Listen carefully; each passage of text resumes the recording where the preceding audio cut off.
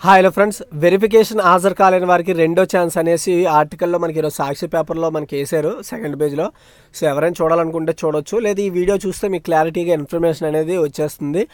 So ఈ verification హాజరు కాలేని వారికి రెండో ఛాన్స్ ఏంటి అంటే ఆల్రెడీ ఇప్పుడు ఎవరైతే క్వాలిఫై అయ్యారో సో ఎవరికైతే మీరు వెబ్సైట్లో అప్లికేషన్ సమ్ అంటే సర్టిఫికేట్లు అప్లోడ్ చే చేశారో వాళ్ళు ఒకవేళ మీరు ఈ యొక్క వెరిఫికేషన్కి హాజరు కాలేకపోయారు అనుకోండి వాళ్ళకి రెండో ఛాన్స్ ఇస్తాము. అంటే మీరు ఏదైనా కారణాల వల్ల కానీ లేదా సర్టిఫికేట్లు మీరు సరైన టైంలో అందుకోలేకపోయినా వాళ్ళకి రెండో ఛాన్స్ ఉంటుందని చెప్పారు. సో ఆ రెండో ఛాన్స్ మనకి ఏ విధంగా ఉంటుందంటే ఎవరైతే ఈ సర్టిఫికేట్స్ అనుకూలం టైంలో రాకపోయినా లేదంటే మీకు టై అప్పుడు ఏదైనా ప్రాబ్లం వచ్చి ఆగిపోయినా సరే మీరు అవకాశం ఉంటుంది. సో అది ఎప్పుడు ఇస్తారు ఏంటనేది మనకి చెప్పలేదు క్లారిటీగా. సో మీరు ఆ డౌట్స్ ఏమైనా ఉంటే మనకి ఇరవై మూడు ఇరవై నాలుగు ఇరవై ఐదు తేదీల్లో సర్టిఫికేట్ వెరి వెరిఫికేషన్ సెంటర్స్ ఏవైతే ప్రొవైడ్ చేశారో మీరు అక్కడికి వెళ్ళి మీకు ఒకవేళ మీకు ఇన్ టైంలో ఏదైనా ప్రాబ్లం వచ్చి మీరు చేయించుకోలేకపోతే మళ్ళీ ఎప్పుడు చేయించుకోవాలనేసి ఒకసారి అడగండి. సో ఇందులో చెప్పిందంతా అదే. పెద్దగా సోది వేశారు ఆ సోది కాకుండా మీకు సింపుల్ ఫార్మేట్లో చెప్పాను. అయితే ఇప్పటికే కొన్ని జిల్లాలకి ఏదైతే షార్ట్ లిస్టెడ్ ఉన్నాయో ఆ షార్ట్ లిస్టెడ్ ఇప్పటికే కొన్ని జిల్లాలకి అయితే పంపించారు. ఇంకొన్ని జిల్లాలకి అయితే ఇంకా పంపిస్తున్నాం అని చెప్పారు. సో ఎంపికైన అభ్యర్థులకు ఈమెయిల్ నెక్స్ట్ అంతేకాకుండా ఫోన్ నెంబర్లకు షార్ట్ లిస్ట్లో అయిన పేరున్న వారికి మెసేజ్లు అయితే పంపుతున్నారు. సో ఎవరైతే క్వాలిఫై అయ్యారో ఎవరైతే సర్టిఫికేట్లు అప్లోడ్ స్టార్ట్ చేశారో అందులో వచ్చే ఎక్నాలజ్మెంట్ పట్టుకొని సర్టిఫికేట్ వెరిఫికేషన్ సెంటర్కి వెళ్ళాలి. సో ఎక్కడ మీ సెంటర్ అనేది కూడా మెసేజ్లో కూడా చెప్తాము అనేసి చెప్పారు. అక్కడికి వెళ్ళి మీ సర్టిఫికేట్లను వెరిఫికే వెరిఫై చేసుకొని సో తర్వాత వాళ్ళు మిగతా ప్రాసెస్ అంతా చెప్తారు అండ్ ట్రైనింగ్ అవన్నీ కూడా. సో అక్టోబర్ రెండు లోపు ఇవన్నీ కూడా కంప్లీట్ చేసేస్తామని చెప్పారు. అండ్ అంతేకాకుండా ట్రైనింగు రెండు విడతలుగా చేస్తారు. ఒకటి అక్టోబర్ అంటే అక్టోబర్ ఒకటో తారీఖున నెక్స్ట్ అక్టోబర్ పదిహేనవ తారీఖున మళ్ళీ రెండు విడతల మనకి ట్రైనింగ్ అయితే ఉంటుంది ఈ పోస్టులకు సంబంధించి. సో ఒకవేళ రెండో వెరిఫికేషన్కి మీరు హాజరైతే అవ్వాలనుకుంటే ఫస్ట్ మీరు మీ ప్రాబ్లమ్ని వెళ్ళి మీ వెరిఫికేషన్ సెంటర్లో చెప్పుకుంటూ ఎప్పుడు మళ్ళీ ఉంటుందనేది ఒకసారి క్లారిటీ తెచ్చుకోండి. ఎందుకంటే మనకి రెండో వెరిఫికేషన్ ఉంటుంది అని చెప్పారు కానీ దాని గురించి ఎలాంటి అప్డేటు అండ్ మళ్ళీ ఏ డేట్ ఉంటుంది ఎప్పుడు వెళ్ళాలి ఎలా వెళ్ళాలి ఏం చెప్పట్లేదు. సో ఇక్కడ మీరు చేయాల్సింది ఏంటంటే మీరు ఒకవేళ అనుకున్న టైంకి వెళ్ళలేకపోయినా మీ దగ్గర సంబంధించిన సర్టిఫికేట్ లేకపోయినా ఫస్ట్ మీ దగ్గరలో ఉన్న సర్టిఫికేట్ వెరిఫికేషన్ సెంటర్కి వెళ్ళి కొనుక్కోండి మళ్ళీ ఎప్పుడు చేయించుకోవాలనేది వాళ్ళు క్లారిటీగా చెప్తారు. అండ్ ఇంకో విషయం ఏంటంటే మనకి ఎంఆర్ఓ ఆఫీస్ నుండి రావాల్సిన ప్రతి సర్టిఫికేట్ను కూడా స్పీడ్గా ఇవ్వాలనేసి ఆయా జిల్లాల కలెక్టర్లు ఎంఆర్ఓలకు చెప్పడం కూడా జరిగిందని చెప్పడం జరుగుతుంది. ఇక్కడ ఇంకో విషయం ఏంటంటే మహిళలకు ముప్పై మూడు శాతం ఉద్యోగాలు అనేసి చెప్పడం జరిగింది.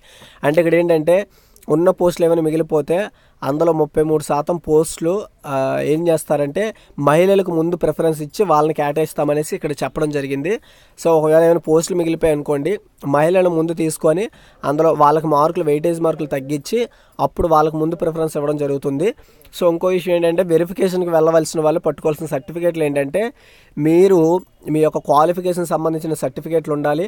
అంతేకాకుండా మీ డేట్ ఆఫ్ బర్త్ అయితే డేట్ ఆఫ్ బర్త్ లేదంటే మీన్స్ బర్త్ సర్టిఫికేట్ అయితే బర్త్ సర్టిఫికేట్ లేదా ఎస్ఎస్సి సర్టిఫికేట్ ఉన్నా కూడా పర్లేదు అవి పట్టుకొని వెళ్ళాల్సి ఉంటుంది. అంతేకాకుండా మీరు అప్లోడ్ చేసిన తర్వాత సర్టిఫికేట్లు వెబ్సైట్లో అందులో వచ్చే అక్నాలజ్మెంట్ లెటర్ను కూడా మీరు ప్రింట్ తీసి పట్టుకెళ్ళాలి. అంతేకాకుండా ఒరిజినల్ సర్టిఫికేట్లు మార్కులు మెమోలు ఖచ్చితంగా ఉండాలి ఒరిజినలే ఉండాలి క్వాలిఫికేషన్ సంబంధించి. నెక్స్ట్ నాలుగో తరగతి నుంచి పదో తరగతి మధ్య ఎక్కడ చదివారన్నా స్టడీ సర్టిఫికేట్లు ఉండాలి. ఇప్పుడు స్టడీ సర్టిఫికేట్లో చాలామందికి ఒక డౌట్ ఉండొచ్చు. మేము ఫిఫ్త్ వరకు ఒక దగ్గర చదివాము. మళ్ళీ సిక్స్త్ నుండి టెన్త్ వరకు ఒక దగ్గర చదివామని. మీరు ఎక్కడైతే చదివారో సిక్స్త్ టు టెన్త్ అక్కడ మీరు వెళ్ళి ఆ యొక్క స్టడీ రెండు సంవత్సరాల స్టడీ పట్టుకోవాలి. నెక్స్ట్ సిక్స్త్ టు టెన్త్ ఎక్కడ చదివారో అక్కడ వెళ్ళి రెండు స్టడీలు పట్టుకోవాల్సి వస్తుంది. ఒకవేళ మీరు ప్రైమరీ స్కూల్ చదివిన స్కూల్ లేకపోయినట్టయితే మీరు ఇక్కడ వచ్చి ఇంటిమేట్ చేస్తే సరిపోతుంది. ఓకేనా? సో ఏదైతే మనకి వెరిఫికేషన్ సెంటర్ ఉంటుందో అక్కడ వచ్చి మీరు ఒకసారి వాళ్ళకి ఇలా చెప్తే వాళ్ళకి అర్థమవుతుంది. ఎందుకంటే ఇప్పుడు ఫోర్త్ ఫిఫ్త్ సర్టిఫికేట్లు లేకపోయాయి అనుకోండి మనం వేరే దగ్గర ఎక్కడ వెళ్ళి తెచ్చే అవకాశం ఉండదు కాబట్టి సో మనం డైరెక్ట్గా వెరిఫికేషన్ సెంటర్ ద్వారా చెప్పుకుంటే సరిపోద్ది. కానీ ఉన్న వాళ్ళు మాత్రం ఖచ్చితంగా తెచ్చుకోండి. ఎలాంటి మెంటల్ టెన్షన్ ఉండదు.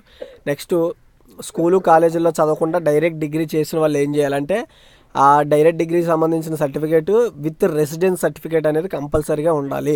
నెక్స్ట్ రాష్ట్ర విభజన సమయంలో ఎవరైతే తెలంగాణ ఉండే ఎవరైతే ఆంధ్రప్రదేశ్కి వచ్చేస్తామని ఉంటారో వాళ్ళకి ప్రభుత్వం ఒక సర్టిఫికేట్ జారీ చేసింది. సో ఆ సర్టిఫికేట్ సంబంధించి ఆ సర్టిఫికేట్ని కూడా మీరు ఇక్కడ సబ్మిట్ చేయాలి. నెక్స్ట్ మీకు చెవిటి మూగ వైకల్యంతో ప్రత్యేక స్కూల్లో చదువుకున్న వారు వారి తల్లిదండ్రుల నుండి మీరు నివాసిత రెసిడెన్స్ సర్టిఫికేట్ అనేది తీసుకురావాల్సి ఉంటుంది మీ పేరెంట్స్ది. నెక్స్ట్ బీసీ ఎస్సీ ఎస్టీ అభ్యర్థులకు కుల ధృవీకరణ పత్రం చాలా ఇంపార్టెంట్. సో ఇది కూడా మీరు ఒరిజినల్ పట్టుకెళ్ళాలి. బీసీ అభ్యర్థులు తాజాగా తహసీల్దార్ జారీ చేసిన నాన్ క్రిమిలేయర్ సర్టిఫికేట్ ఖచ్చితంగా మీరు ఒరిజినలే పట్టుకోవాలి. దివ్యాంగ అభ్యర్థులు సదర క్యాంపుల ద్వారా పొందిన మెడికల్ సర్టిఫికేట్ కూడా డెఫినెట్గా పట్టుకెళ్ళాలి. ఒకవేళ మీరు ఎక్స్ సర్వీస్ మ్యాన్ ఎన్సీసీ క్రీడల కోట అభ్యర్థుల సంబంధిత సర్టిఫికేట్లు కూడా మీరు పట్టుకెళ్ళాల్సి ఉంటుంది. ప్రస్తుతం ఆయా ఉద్యోగాల కాంట్రాక్ట్గా లేదా అవుట్సోర్సింగ్ చేస్తున్న వాళ్ళు మీ యొక్క ఇన్ఛార్జ్ ఎవరైతే ఉంటారో వాళ్ళ దగ్గర నుండి ఇన్ సర్వీస్ సర్టిఫికేట్ అనేది కూడా మీరు పట్టుకెళ్ళాల్సి ఉంటుంది. సో మీ దగ్గర ఎలాంటి కేసులు లేవని సెల్ఫ్ సర్టిఫికేట్ కాపీ దీనికి సంబంధించిన నిర్ణీత ఫార్మేట్ను మీరు మీ వెబ్సైట్లో డౌన్లోడ్ చేసుకొని ఫిలప్ చేసి మీ సంబంధించిన పోలీస్ స్టేషన్లో దాన్ని ఒకసారి వెరిఫికేషన్ చేసుకొని సైన్ చేయించి స్టాంప్ వేయించి మీరు పట్టుకెళ్ళాల్సి ఉంటుంది. సో యాక్చువల్గా మనకి ఇది అంత తొందరగా అయ్యే పని కాదు. సో మీరు ఇలా సచివాలయానికి సంబంధించి అప్డేట్ని చెప్పి మీరు చేయించుకుంటే తొందరగా అవుతుంది. సో ఇంకో విషయం ఏంటంటే మీరు ఇవన్నీ కూడా టూ సెట్స్ పట్టుకెళ్ళాలి కాపీస్ సో విత్ ఒరిజినల్స్ పట్టుకెళ్ళాల్సి ఉంటుంది అనమాట అవి పట్టుకెళ్ళండి. సో చాలామంది ఏంటంటే గెజిటెడ్ సైన్స్ పట్టుకోవాలి అనేసి చాలామంది అడుగుతున్నారు. దాని మీద అయితే ప్రభుత్వం ఎక్కడ కూడా క్లారిటీగా అయితే చెప్పలేదు. సో గెజిటెడ్ ఉంటే చాలా ఇంపార్టెంట్ చాలా మంచిది. సో వాళ్ళు మీకు తిరిగి చూసుకునే అవకాశం ఉండదు.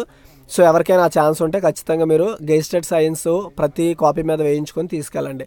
మీ ఒరిజినల్స్ మీద మాత్రం గెజిటెడ్ సైన్స్ వేయించొద్దు. ఒరిజినల్ కాపీస్ మీద వేయించొద్దు. జెరాక్స్ కాపీ మీద వేయించండి. ఇంతే guys video. Thanks for watching